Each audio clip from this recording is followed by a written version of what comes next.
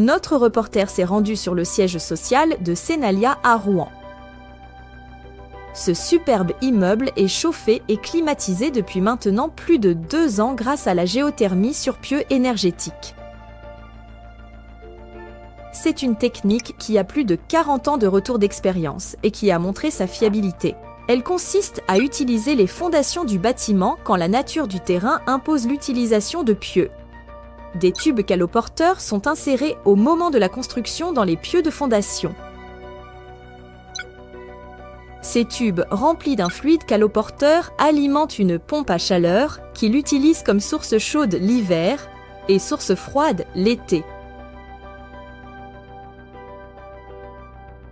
Après deux années complètes d'exploitation, l'installation donne satisfaction. Nous avons rencontré Mathieu Calais, directeur technique de Senalia. Pourquoi avoir choisi cette technologie?